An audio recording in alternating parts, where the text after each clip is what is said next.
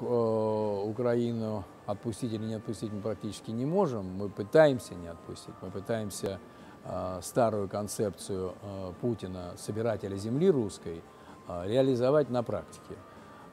Украинцы понимают прекрасно, что их будущее зависит от тех политиков, которые ими руководят, а политики, которые ими руководят, понимают, что они должны привнести на украинскую землю какой-то позитив, какое-то благо, а тесное соприкосновение и короткий поводок с Россией несет экономически определенные трудности для Украины.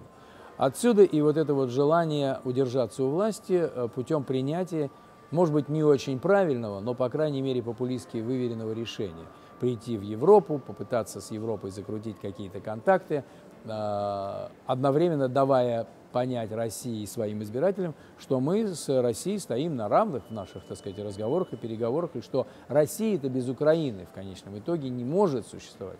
Потому что сколько бы лет ни прошло э, со дня развала Советского Союза, все по-прежнему в тайне как бы считают э, всех нас в одном государстве. И когда вы приезжаете на Украину, ну, есть какое-то ощущение, может быть, переходов, э, несколько иные обстоятельства бюрократического плана, но то, что касается ощущения, что ты в другой стране, оно еще не возникло. Поэтому я думаю, что сегодня вот эта вот э, идея нашего президента о том, что мы должны все вместе быть в таможенном союзе, мы должны все быть вместе, потому что мы этого хотим, потому что мы должны, она несостоятельна, потому что только экономическая позиция, только лишь правильное регулирование экономических отношений может привести страны э, в объятия друг друга, как это было, собственно, с Европой.